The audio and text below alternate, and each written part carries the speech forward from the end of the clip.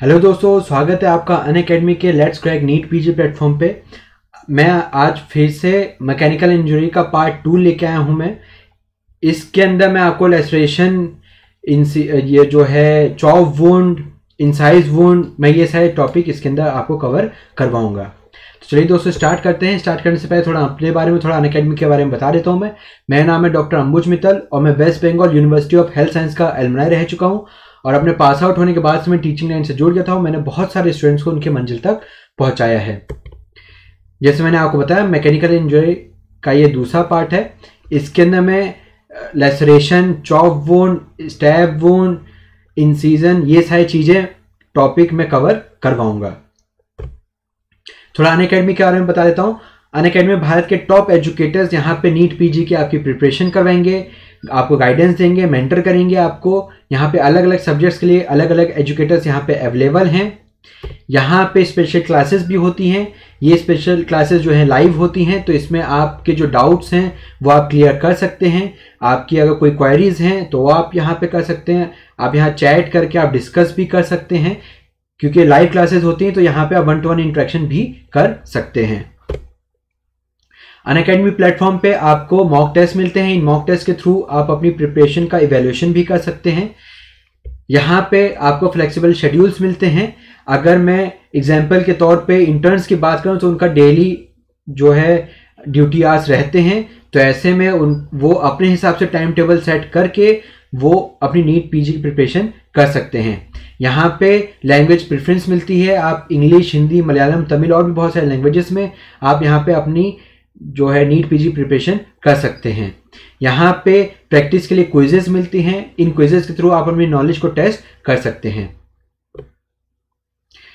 जैसे मैंने आपको बताया लाइव क्लासेस जो स्पेशल क्लासेस होती हैं, वो लाइव होती हैं। तो वहाँ पे आप एजुकेटर के साथ चैट कर सकते हैं वन टू वन इंट्रैक्शन कर सकते हैं क्वेश्चन पूछ सकते हैं और आपको तुरंत उसका आंसर मिल जाएगा। अगर आप बहुत ज़्यादा रिमोट एरिया में भी रहते हैं तो भी आपको घबराने की कोई बात नहीं है। आपको बस इंटरनेट का कनेक्शन चाहिए और आप हमसे जुड़ जाएँगे। इसका मतलब ये हुआ लर्न एनी टाइम एनी आपको बस करना ये है, आपको अपने अन अकेडमी आपको अपने स्मार्टफ़ोन में अन अकेडमी लर्निंग ऐप को इंस्टॉल करना है। इंस्टॉल करने के बाद आपको सब्सक्रिप्शन लेने हैं। सब्सक्रिप्शन के लिए भी आपको यहाँ पे डिफरेंट ऑप्शंस मिल जाते हैं। जैसे one month three month six month twelve month twenty four months लेकिन अगर आप मेरा रेफरल कोड अगर आप यूज़ करेंगे L I V D R M तो आपको कोई भी सब्सक्रिप्शन लेने पे आपको टेन परसेंट का डिस्काउंट मिल एक्स्ट्रा मिल जाएगा। यानी कि अगर आप मेरा एक कोड यूज़ करेंगे तो आपको एडिशनल टेन परसेंट का डिस्काउंट मिल जाएगा। तो अगर मैं वन मंथ की बात करूँ तो मेरा कोड यूज़ करने के बाद ये आपको पड़ेगा फोर थाउज़ेंड फाइव हंड्रेड का। अगर मैं थ्री मंथ्स की बात करूँ तो मेरा कोड यूज़ करने के बाद ये आपको पड़ेगा eleven thousand two hundred fifty का। अगर मैं सिक्स मंथ की बात करूँ तो मेरा कोड यूज़ करने के बाद ये आपको पड़ेगा एटीन थाउज़ेंड का। अगर मैं ट्वेल्व मंथ्स यानी एक साल की बात करूँ तो एक साल के लिए मेरा कोड यूज़ करने के बाद ये आपको पड़ेगा twenty two thousand five hundred का। जैसे आप यहाँ पे देख सकते हैं ट्वेंटी फोर मंथ्स के लिए मेरा कोड यूज़ करने के बाद L I V D R M ये यूज़ करने के बाद ये आपको पड़ेगा ट्वेंटी सेवन थाउज़ेंड का। तो दोस्तों, बहुत ही अच्छे चार्जेस हैं नॉमिनल चार्जेस हैं। एक बार आप सब्सक्रिप्शन लेके ज़रूर देखिए। तो चलिए दोस्तों, आज का हम जो मैकेनिकल इंजरी पार्ट टू है, ये हम स्टार्ट करते हैं। स्टार्ट करने से पहले अपने अंदर पॉजिटिव एनर्जी लेके आइए, अपने अंदर पॉजिटिव थॉट्स लेके आइए कि yes I can crack it I can crack NEET PG तो चलिए दोस्तों स्टार्ट करते हैं लेसरेटेड वुंड से। तो पहले इसकी डेफिनेशन जानते हैं। Lacerated wound is form of mechanical injury cause by hard and blunt force यहाँ पे ध्यान देने वाली ये चीज़ है कि hard and blunt force impact characterize by splitting और टेयरिंग ऑफ़ टिश्यू यानी कि अगर कोई हार्ड और ब्लंट ऑब्जेक्ट से अगर हम फोर्सफुली uh, हम मारते हैं तो ये स्किन को स्प्लिट कर देगा। तो इसी को ही लेसरेटेड वुंड बोला जाता है। तो इसका मैकेनिज्म देख लेते हैं। when the skin or other structure are subjected to blunt force blunt force if blunt force important hai the tissue get crushed or stretched beyond the limits of the elasticity leading to tearing of the skin or other tissue thus producing laceration. Laceration differs from incised wound because in laceration the continuity of the tissue is disrupted by tearing rather than clean slice ये जो lacerated wound है ये हमारा जो है incise wound से इसलिए फ़र्क है क्योंकि इंसाइज वुंड में एकदम क्लीन स्लाइस की तरह वो काट देगा। लेकिन लेसरेशन के अंदर क्या हो, होगा कि वो फटेगा। तो इस वजह से ये डिफ्रेंशिएटिंग पॉइंट है लेसरेशन वुंड और इंसाइज वुंड के बीच में। तो हमें ये ध्यान देना पड़ेगा कि हार्ड और ब्लंट ऑब्जेक्ट से जब हम फोर्सफुली हम इम्पैक्ट करते हैं स्किन के ऊपर तो ये लेसरेशन वुंड शो करता है। Mechanism of laceration wound formation the head is hit by hard and blunt object then result is laceration lacerated wound as shown in figure B अगर मैं इसके अंदर बात करूँ इंजुरी जो है इंजुरी जो है एपिडर्मिस डर्मिस और सब सब क्यूटेनियस टिश्यू तीनों पे ही इसके अंदर इंजुरी लगती है ब्लंट ऑब्जेक्ट के द्वारा। तो injury to epidermis dermis and subcutaneous tissue cause by blunt have blunt and heavy weapon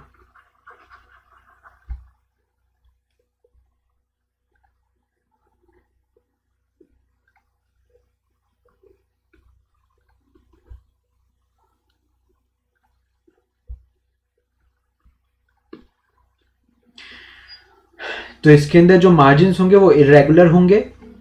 और अगर हम मैग्नीफाइंग ग्लास से अगर हम देखते हैं तो जो डर्मिस के जो फाइबर्स हैं वो स्प्लिट कर हुए दिखेंगे। तो मैं ये यहाँ पे लिख देता हूँ। इरेगुलर मार्जिन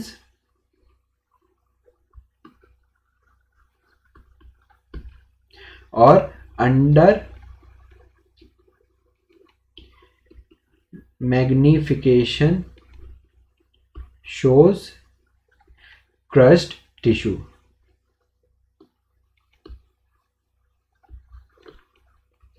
Crushed tissue तो ये चीज़ आपको ध्यान रखनी पड़ेगी।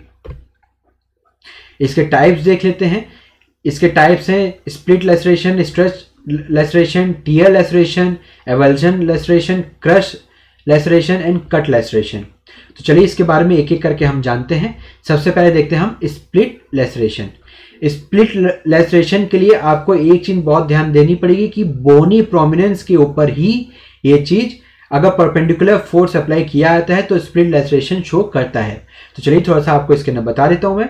Also called as incised looking laceration split laceration are cause by blunt force splitting the thickness of the skin most frequently when the skin and the soft tissue are crush between impacting force and the underline bone तो ये चीज़ आपको ध्यान रखनी पड़ेगी कि bony prominence bony prominence N A N C bony prominence के ऊपर जब ब्लंट फोर्स अप्लाई होता है तो स्प्लिट लेसरेशन देखा जाता है। These type of laceration are usually found in body parts with underlying bone without much tissue in between common site है स्कैल्प फेस शिन इसके अंदर आप एक एग्जांपल और ले सकते हैं इलिया क्रेस्ट इलिया क्रेस्ट भी आप एग्जांपल ले सकते हैं। Due to splitting of skin this laceration appears like incised wound क्योंकि इसके अंदर स्प्लिटिंग होती है तो ये एक तरीके से इंसाइज्ड वुंड की तरह दिखता है, लेकिन इसके अंदर क्या है बोनी प्रोमिनेंस के ऊपर ये चीज़ होता है, इसलिए ये स्प्लिट लेसरेशन का एग्जांपल ये है। नेक्स्ट आते हैं स्ट्रेच लेसरेशन पे। स्ट्रेच मतलब होता है खिंचना। तो इसके बारे में आपको बता देता हूँ। Stretch laceration result due to over stretching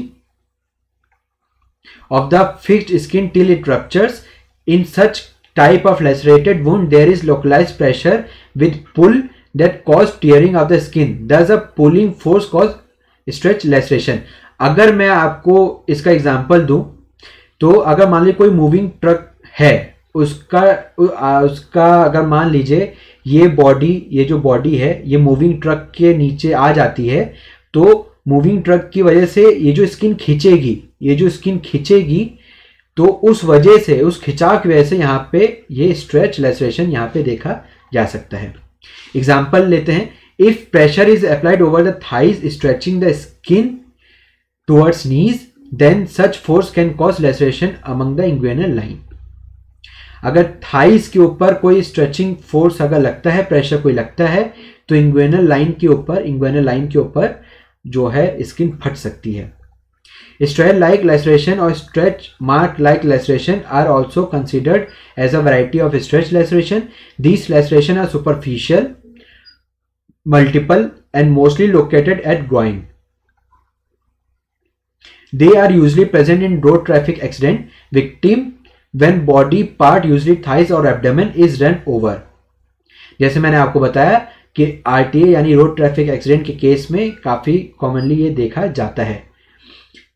The crushing weight of the vehicle vehicles will provide the pulling and stretching of the skin जैसे मैंने आपको बताया कि अगर मान लीजिए कोई चलते हुए वैकिल के के नीचे अगर कोई इंसान आ जाता है तो उस वजह से एक स्ट्रेचिंग फोर्स रखता है, उस स्ट्रेचिंग फोर्स की वजह से स्किन फट जाती है। उसी को ही स्ट्रेच लेसरेशन का नाम बोला गया है।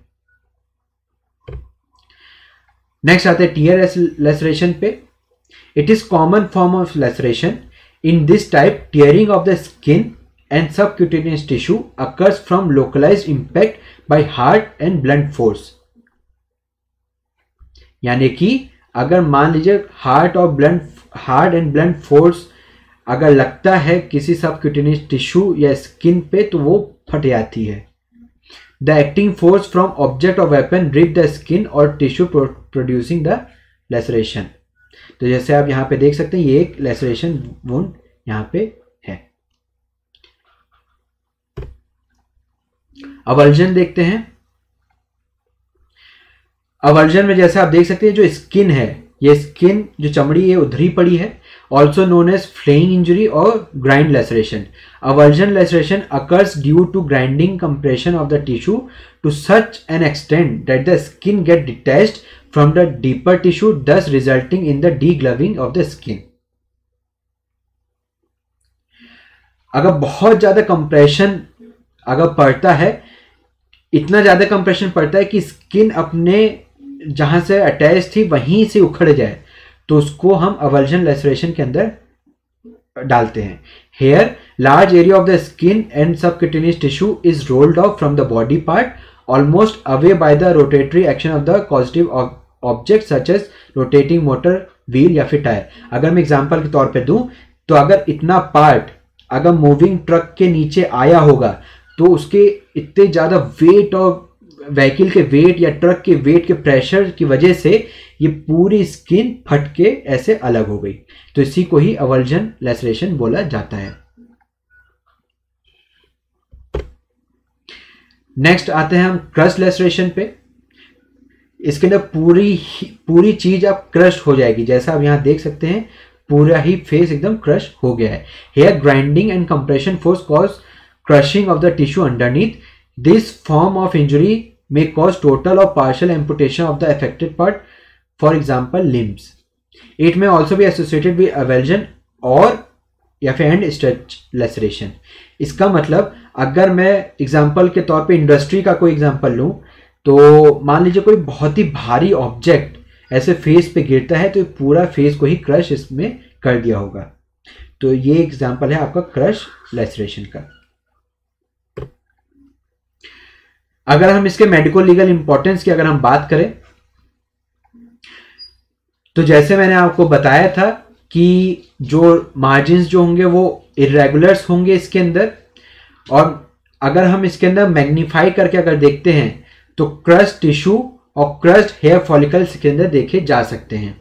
तो चलिए थोड़े से मेडिको लीगल इंपॉर्टेंस हम देखते हैं। Cause of injury can be known type of laceration wound can be known nature of injury can be ascertain whether simple or grievous अगर मान लीजिए कि आ, कहीं पे कोई ट्रक अगर नीचे आ गया है ट्रक के नीचे कोई आ गया तो एकदम ग्रीवियस हार्ट का ये एग्ज़ाम्पल भी हो सकता है। Foreign body present in wound may help in identification of the offending weapon place of the incident यानी कि अगर मान लीजिए कोई इंडस्ट्री के अंदर कोई भारी ऑब्जेक्ट आके अगर गिरता है तो उस ऑब्जेक्ट के कुछ ना कुछ पार्टिकल अगर पाए जाते तो उससे हम उस जगह का या उस फॉरेन बॉडी के थ्रू हम आइडेंटिफाई कर सकते हैं कि क्या चीज़ गिरी होगी। Age of injury can be estimated it can be known whether the injury is accident or suicidal or homicidal direction of the application of force can be known तो चलिए नेक्स्ट देखते हैं हम लेसरेटेड और इंसाइज वुंड के बीच का difference तो as अगर लेसरेटेड वुंड है तो वो इरेगुलर और रेड होगा. इंसाइज वुंड मैंने अभी तक पढ़ाया नहीं है, लेकिन मैं आगे बता दूँगा कि इसके अंदर क्लीन कट देखा जाता है.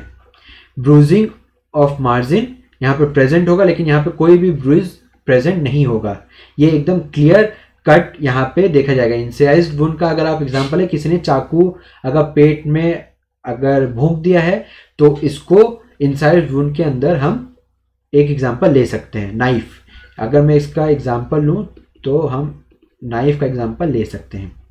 इंजरी टू ब्लड वेसल्स यहाँ पे क्रस्ट होगा, यहाँ के, लेकिन यहाँ पे नाइफ की वजह से एकदम क्लीन कट होगा. हेयर बल्ब जो होंगे वो क्रस्ट होंगे, लेकिन यहाँ पे क्लीन कट होगा. ब्लीडिंग यहाँ पे लेस होगी, लेकिन यहाँ पे मोर होगी. क्यों? क्योंकि नाइफ से काफ़ी क्लियरली और काफ़ी डीप तक वो चीज़ कट हो जाएगी तो इसलिए ज़्यादा खून यहाँ पे बहेगा। Underline bone no sharp injury लेकिन यहाँ पे शार्प लीनियर इंजुरी यहाँ पे देखी जाएगी। हालाँकि मैं इंसाइज वुंड अगली कुछ स्लाइड में मैंने रखा हुआ है टॉपिक उससे आपको और ज़्यादा समझ में ये आ जाएगा। Difference between antemortem and postmortem laceration wound तो अब हम यहाँ पे देखते हैं जब इंसान ज़िंदा होगा, उस टाइम पे क्या फीचर्स देखे जाएँगे लेसरेशन वुंड में? और जब इंसान मर जाता है तो उस टाइम पे क्या फीचर्स देखे जाएँगे? तो एक्सावेशन ऑफ़ द ब्लड जब इंसान ज़िंदा होगा, तभी प्रेजेंट होगा, इंसान के मरने के बाद प्रेजेंट नहीं होगा। कोगुलेशन तभी होगा जब इंसान ज़िंदा होता है एबसेंट होगा जब इंसान मर जाता है। इंक्रीज एंजाइम एक्टिविटी एंजाइम की एक्टिविटी तभी होगी जब इंसान ज़िंदा होता है। मरे हुए इंसान में एक्टिविटी शो नहीं होती है। हीलिंग की प्रोसेस तभी होगी जब इंसान ज़िंदा होता है मरे हुए इंसान में नहीं देखी जाती है। पस और इन्फेक्शन तभी देखा जाता है जब इंसान ज़िंदा होता है। मरे हुए इंसान में पस देखा नहीं जाता है। तो चलिए दोस्तों, अब इंसाइज वुंड के बारे में थोड़ा सा आपको बता देता हूँ। इसका दूसरा नाम है स्लैश या फिर कट वुंड डेफिनेशन आपको पहले आपके सामने रख देता हूँ। An incised wound is form of mechanical injury characterized by orderly solution of skin and tissue by sharp cutting force जैसे मैंने आपको पिछली स्लाइड में मैंने इसका एग्ज़ाम्पल बताया था नाइफ अगर मान लीजिए कोई नाइफ एब्डोमेन के अंदर इंसर्ट कर देता है तो वो एक तरीके का इंसाइज वुंड का एक एग्जांपल होगा। मैकेनिज्म हम देख लेते हैं यहाँ पे। Incise wound may be produce by light sharp cutting weapon like kitchen knife जैसे मैंने आपको बताया था किचन नाइफ इसका एक एग्ज़ाम्पल है। Razor scalpel moderately heavy sharp cutting weapon like knife khukri or heavy sharp cutting weapons like sword or chopping ये सारे इसके एग्ज़ाम्पल हैं। अगर मैं एकदम लाइट वेपन की बात करूँ तो किचन का चाकू। अगर थोड़े से भारी वेपन की अगर मैं बा, बात करूँ तो कुकरी कुकरी का अगर मैं एक एग्जांपल अगर आपको दूँ तो आपने अगर वो मूवी देखी होगी, गोलमाल। तो गोलमाल पार्ट वन के अंदर लास्ट के अंदर वो बोलता है कुकरी।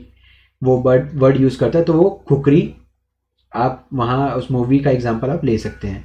अगर मैं हैवी शार्प कटिंग वेपन की बात करूँ तो इसके अंदर तलवार या फिर कुल्हाड़ी का आप ले सकते हैं। The force is delivery delivered over a very narrow area correspond with the cutting edge of the blade of the weapon and incise wound may be produce by the following mechanism तो incise wound कैसे होता है? By striking the body with sharp cutting edge यानी कि जब चाकू का जो शार्प अगर चाकू का जो आगे का जो शार्प पॉइंटेड है, यही आगे स्ट्राइकिंग स्ट्राइक कर देते बॉडी पे।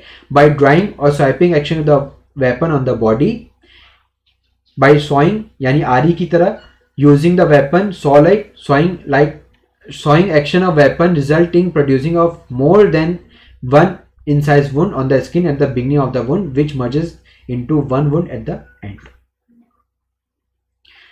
यानी कि ऐसे चाकू लगाने से भी इंजरी हो सकती है आरी की तरह आगे पीछे घिसने से भी हो सकती है और एकदम अंदर स्ट्राइक कर देने से भी इंजरी हो सकती है तो जैसे मैंने आपको यहाँ पे बताया कि मैकेनिज्म क्या है? Incise wound produce by striking force यहाँ पे अगर स्ट्राइकिंग फोर्स अगर ऐसे अगर लगाया गया है तो इंसाइज वुंड इस शेप का आएगा। लेकिन अगर incise wound produce by drawing of the weapon यानी कि अगर मान लीजिए आरी की तरह आगे पीछे करके लगाया गया है या फिर एक चीरा मारा गया है पीछे की तरफ़ तो इसके अंदर एक टेलिंग भी दिखाई देती है। तो जब परपेंडिकुलरी अगर परपेंडिकुलर या फिर स्ट्राइकिंग अगर परपेंडिकुलर अगर किया गया है तो एक स्पिंडल शेप आता है। लेकिन अगर शॉल लाइक अगर या फिर आगे पीछे करके अगर चाकू घुसाया गया है तो एक पीछे से टेल मार्क भी पीछे से एक आएगा। तो अगर मैं टेल को, अगर मैं टेलिंग को अच्छे से डिफाइन करूँ end of the incision has left depth area तो टेलिंग जो होती है टेलिंग यहाँ लेता हूँ। तो end of incision has less depth area इसी को ही टेलिंग वर्ड बोला गया है। इससे हम डायरेक्शन का पता कर सकते हैं। इससे हम डायरेक्शन का पता हम कर सकते हैं। जैसे यहाँ पे टेलिंग का मैंने आपके सामने एक पिक्चर रखा हुआ है, ये टेलिंग है। तो जो डायरेक्शन जो आया होगा, वो इस डायरेक्शन में आया होगा। तो incise wound produce by sawing like mechanism not more than when wound merges with into each other यानी कि इसके अंदर, जैसे मान लीजिए चाकू है तो ऐसे करके डायरेक्शन आया होगा। थोड़ा सेल्फ इन्फ्लेक्टेड वुंड के बारे में थोड़ा सा आपको बता देता हूँ मैं। These injuries are on the accessible part of the body these are usually superficial or minor these are regular similar in style और shape multiple parallel or group together अगर मैं सेल्फ इन्फ्लेक्टेड वुंड की बात करूँ तो इसमें इंसान ने खुद को ही चाकू मारा होगा। इंसान ने खुद को मारा होगा। सेल्फ मतलब खुद। तो वो खुद वहीं पे मार पाएगा जहाँ तक उसका हाथ पहुंचेगा। ज़्यादातर सुपरफिशियल होंगे और थोड़े से माइनर होंगे। जो मार्जिन होंगे वो रेगुलर होंगे। मल्टीपल हो सकते हैं। हार्ड हार्डेडनेस की बात करूँ हैंडेडनेस की बात करूँ तो अगर एक राइट right पर्सन अगर है तो जनरली लेफ़्ट साइडेड में कर पाएगा इंजरी लेफ़्ट साइड में लगा पाएगा, लेकिन अगर कोई लेफ़्ट हैंडेड पर्सन है तो ज़्यादातर वो राइट पार्ट में ही लगा पाएगा, वो अपने राइट लेफ़्ट हैंड से लेफ़्ट पार्ट में तो नहीं लगा पाएगा। तो हैंडेडनेस की बात करूँ तो in right handed person injuries are predominantly on the left side and for the left handed person the injuries are inflected on right part of the body तो यानी कि अगर राइट हैंडेड पर्सन है तो ज़्यादातर लेफ़्ट में लगाएगा और अगर कोई लेफ़्ट हैंडेड पर्सन तो ज़्यादातर राइट में लगाएगा। तो इसको दूसरे जो नाम है, वो है टेंटेटिव कट या फिर sympathetic cut old scars of previous attempt of self inflect inflection में बी नोटेड यानी कि अगर उसने पहले भी अटेम्प्ट किया होगा तो पुराने स्कार्स भी यहाँ पे ऐसे ऐसे करके देखे जा सकते हैं। There may be an underlying psychiatric disorder अगर कोई साइकेट्रिक ऑर्डर है तो वो इसके अंदर सेल्फ इन्फ्लेक्टेड के अंदर पाई जा सकती है। डिफेंस वुंड की अगर मैं बात करूँ, ये वो वाले वुंड होते हैं जो बचाव में लग जाते हैं। अगर मान लीजिए कोई सामने से तलवार मार रहा है फेस के ऊपर तो जनरली हम फेस को बचाने के लिए अपना हाथ आज से ऐसे आगे करेंगे। तो जनरली ये वाले पार्ट पे ही वुंड लगेगा। तो defence wound are the injuries inflected to a person when he tries to defend himself against an attack and a result of in instinctive reaction to assault यानी कि जब पर्सन अपने बचाव के लिए जो इसका जो इंस्टिंक्ट होता है तो जो अपने बचाव के लिए जब वो हाथ आगे लेके आता है उसमें जो वुंड लगते हैं तो उसको डिफेंस वुंड का नाम दिया गया है। The person may ward off the weapon और ट्राई टू कैच और grab the weapon cut the palm and cut the palm and ulnar aspect of the hand अगर मान लिया ऐसे बचाता है तो पाम में लग जाएगा या फिर अल्नर एस्पेक्ट में लग जाएगा। To protect the expose surface of the body the upper limb extension surface of the forearm ज़्यादातर अर्नर साइड में द लेटरल या फिर posterior aspect of the arm या फिर डॉर्सम ऑफ़ द हैंड में रिसीव इंजुरीज तो अगर मान लीजिए कोई अपने आप को बचाता है तो ऐसे बचाएगा तो यहाँ लगेगा। कोई ऐसे बचाता है तो यहाँ लगेगा। तो ये सारी साइट इसके अंदर बताई गई है। Similarly the interior posterior aspect of the lower limb and back में भी injury when an individual curls into an ball with flexion of the spine. यानी कि अगर जब वो अपने आप को एकदम समेट लेता है तो ज़्यादातर पोस्टीरियर या फिर एंटीरियर एस्पेक्ट लिम में लोअर लिम में ये ज़्यादातर इंजरीज देखी जा सकती हैं। तो डिफेंस वुंड जैसे आप जैसे आप नाम देख सकते हैं डिफेंस पर्पज में ही ये चीज़ लगती है, अपने आप के बचाव में। तो चलिए दोस्तों नेक्स्ट टॉपिक लेते हैं चॉप वुंड चॉप वुंड के बारे में आपको बताया था। Chop wound a type of incised wound made by hacking and chopping motion with a fairly sharp and relatively heavy weapon incised wound के अंदर जैसे मैंने आपको चाकू का एग्जांपल दिया था, चाकू जो है रिलेटिवली जो है लाइट वेपन के अंदर आता है, लेकिन चॉप वुंड के अंदर रिलेटिवली भारी ऑब्जेक्ट जो होंगे, उसी के द्वारा ही ये लग सकते हैं। तो इसके मेडिको लीगल इंपॉर्टेंस की अगर मैं बात करूँ तो chop wound are usually homicidal in nature यानी कि अगर कोई किसी का मर्डर करना चाहेगा तो जनरली उसी में ही लगेगा However, injury may be sustained by a person working in factories.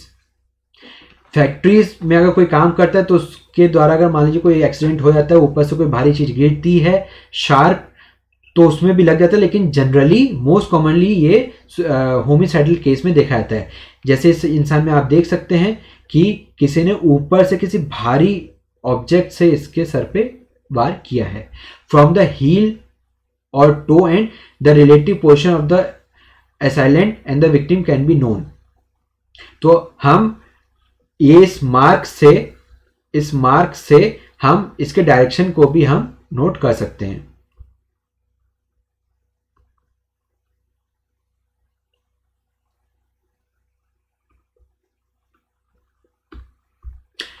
The type of weapon use can be known हम इससे वेपन का भी पता कर सकते हैं।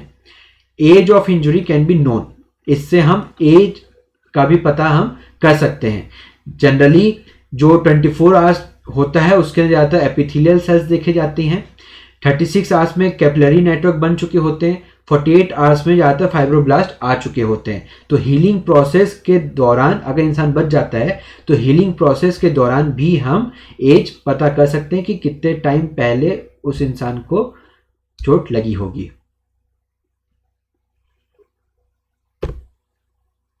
यहाँ पे थोड़ा स्टैब वुंड के बारे में आपको बता देता हूँ। स्टैब मतलब कि जैसे हम कि कोई जो पर्सन है अगर किसी को स्टैब करता है, चाकू घोप देता है तो उसको स्टैब वुंड बोला जाता है। तो अगर इसकी डेफिनेशन देखें stab wound is a piercing wound produce by application of mechanical force along the long axis of a narrow of a pointing object यानी कि अगर ये ये अगर लॉन्ग एक्सेस है इस पेन का तो ऐसे अगर किसी को मारा होगा, इसके लॉन्ग एक्सेस के के लाइन में अगर मारा होगा तो वो स्टेप वुंड कहलाता है। अगर मैं इसकी क्लासिफिकेशन की बात करूँ तो stab wound are classified into following basis यानी कि अगर हम इसके अंदर जनरली आप इसके दो चीज़ें ध्यान रखें पेनिट्रेटिंग या फिर परफोरेटिंग वुंड दो टाइप के इसके वुंड देखे जाते हैं, इस टाइप के अंदर पेनिट्रेटिंग या फिर परफोरेटिंग तो चलिए यहाँ पे जैसा आपको बता देता हूँ, ये होगी पेनिट्रेटिंग ये हो गई परफोरेटिंग परफोरेट जैसे आप वर्ड जानते हैं, पूरा परफोरेट कर गया है इसके अंदर आर पार चला गया है, लेकिन इसके अंदर पेनिट्रेट मतलब अंदर घुस गया है। तो इनसाइज जो स्टैब वुंड होते हैं, वो दो तरह से हम डिवाइड कर सकते हैं, उसको इनसाइज वुंड या फिर एसरेटेड स्टैब वुंड ये दोनों भी पेनिट्रेटिंग या फिर परफोरेटिंग वुंड का एग्ज़ाम्पल आप ले सकते हैं दोनों में। तो ये हो गया इसके क्लासिफिकेशन यानी कि चाहे वो इस इनसाइज वुंड हो चाहे वो लेसरेटेड वुंड हो ये दोनों ही पर पेनिट्रेटिंग वुंड और परफोरेटिंग वुंड शो कर सकते हैं। तो अगर मान लीजिए कि चाहे वो पेनिट्रेटिंग हो चाहे वो पेनिट्रेटिंग हो चाहे परफोरेटिंग हो इसके अंदर हम हिल्ट इस चीज़ को बोलते हैं हिल्ट जहाँ पे पकड़ होती है और जहाँ पे ना, जो नाइफ जहाँ से स्टार्ट होती है उस एरिया पे जो बीच का जो पॉइंट होता है, इसको हिल्ट बोलते हैं। तो stab wound with hilt abrasion तो अगर मान लीजिए, यहाँ पे ये जो हिल्ट है, जब स्किन के कांटेक्ट में आएगा, बहुत फोर्सफुली अगर स्टैब किया गया है तो इस हिल्ट से एक एब्रेशन शो हो जाता है।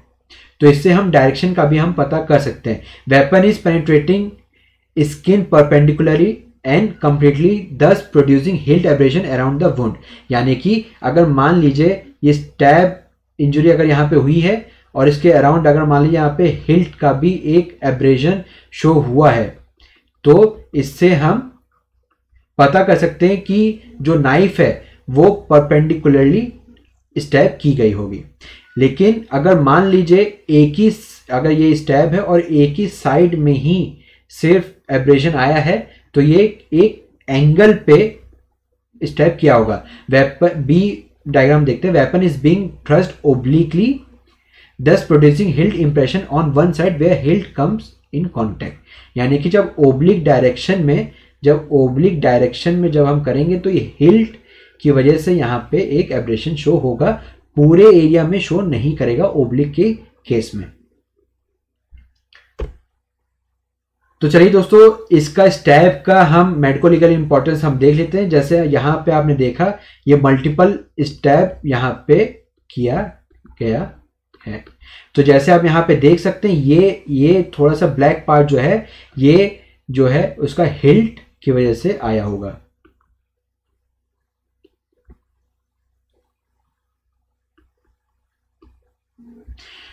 Type of weapon use can be known हम वेपन के टाइप पता कर सकते हैं। Dimension of weapon can be known हम इस स्टेप से हम डायमेंशन पता कर सकते हैं।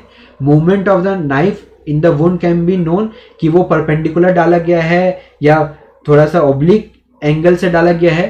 Depth of the depth of thrust can be known direction of the thrust can be known amount of force use can be known age of wound can be known manner of inflection हम पता कर सकते हैं, कहीं वो suicidal तो नहीं, कहीं वो होमिसाइडल तो नहीं, कहीं कहीं वो एक्सीडेंटल तो नहीं, हम ये पता कर सकते हैं। जैसे यहाँ पे इतने सारे मल्टीपल स्टैब हुए हैं तो ये एक्सीडेंटल तो बिल्कुल नहीं हुआ होगा और ये सुसाइडल तो बिल्कुल भी नहीं हुआ होगा। ये एक होमिसाइडल का एग्ज़ाम्पल है। ये होमिसाइडल स्टैब इंजरी का ये एक एग्ज़ाम्पल है। तो दोस्तों यहीं पे मैं अपनी आज की वीडियो एंड करता हूँ। एंड करने से पहले there is only one way to success and is called hard work अगर आप हार्ड वर्क करते हैं तो आपको 100 परसेंट सक्सेस मिलेगी। हार्ड वर्क के अलावा और कोई तरीका नहीं है सक्सेस पाने का। हाँ और सेकेंडरी चीज़ें हैं सेकेंडरी चीज़ें हैं, जैसे सही स्ट्रेटजी वगैरह, लेकिन उन सब के लिए हार्ड वर्क ज़रूरी है। अगर आप मेहनत करते हैं डेली आठ से दस घंटा अगर आप पढ़ते हैं तो आप हंड्रेड परसेंट आप छः पाँच से छः महीने में अपना कोर्स ख़त्म करके आप अपना रिवीजन स्टार्ट कर देंगे। तो ये हार्ड वर्क ही आपकी सक्सेस दिला पाएगी। को, दुनिया में ऐसा कोई भी चीज़ नहीं जहाँ पे आप शॉर्ट, शॉर्टकट से आप नीट पीजे आप क्रैक कर पाओ। शॉर्टकट तरीका नहीं है। आपको मेहनत करनी पड़ेगी और अगर आप मेहनत करते हैं तो आपकी नॉलेज गेन होगी। आप जितना अच्छा नॉलेज आपके पास होगा, आप उतने अच्छे सक्सेसफुल डॉक्टर आप फ्यूचर में बनेंगे। इसलिए दोस्तों हार्ड वर्क करिए, क्योंकि सक्सेस पाने के लिए सिर्फ़ एक ही मंत्र है, सिर्फ़ हार्ड वर्क और हार्ड वर्क में भी अगर आप रिविजन करते हैं, जितना ज़्यादा आप रिविजन करेंगे, उतना ज़्यादा आपका हार्ड वर्क आपका सक्सेस की तरफ़ आपको लेके जाएगी। तो दोस्तों, आज की वीडियो एंड करता हूँ एंड करने से पहले आपसे रिक्वेस्ट है कि हमारा जो अन का जो लेट्स क्रैक नीट पीजी जो चैनल है, इसको आप सब्सक्राइब करिए। हमारा सब्सक्राइब करने के बाद बेल आइकन को प्रेस करिए। अगर आप बेल आइकन को प्रेस करते हैं तो हमारी नई नई वीडियोस का नोटिफिकेशन आपको आता रहेगा तो इससे आपकी कोई भी वीडियो मिस नहीं होगी। हमारी वीडियोस को लाइक करिए। अगर आप लाइक करते हैं तो हमें और भी मोटिवेशन मिलता है और वीडियोस बनाने के लिए। तो भूलिएगा नहीं दोस्तों, मेरा जो कोड है वो है L I V D R A M तो अगर आप ये यूज़ करते हैं सब्सक्रिप्शन लेने में तो आपको तुरंत टेन परसेंट का एडिशनल डिस्काउंट मिल जाएगा। तो अगर मैं बात करूँ ट्वेंटी फोर मंथ के सब्सक्रिप्शन चार्जेस की तो उसके सब्सक्रिप्शन चार्जेस हैं थर्टी थाउज़ेंड रुपीज़ लेकिन अगर आप मेरा कोड यूज़ करेंगे L I V D R M तो ये आपको पड़ेगा ट्वेंटी सेवन थाउज़ेंड का सिर्फ़। तो तो दोस्तों दो साल के लिए ट्वेंटी सेवन थाउज़ेंड काफ़ी अच्छे चार्जेस हैं नॉमिनल चार्जेस हैं। एक बार ये आप ये सब्सक्रिप्शन लेके ज़रूर देखिए। एक अगर मैं 12 मंथ्स के सब्सक्रिप्शन चार्जेस की अगर मैं बात करूँ तो मेरा कोड यूज़ करने के बाद ये आपको पड़ेगा 22,500 का मेरा कोड यूज़ करने के बाद। तो दो तो दोस्तों, बहुत ही अच्छे चार्जेस हैं नॉमिनल चार्जेस है। एक बार आप सब्सक्रिप्शन लेके ज़रूर देखिए, आपको 100 परसेंट आपको बेनिफिट मिलेगा। थैंक यू दोस्तों।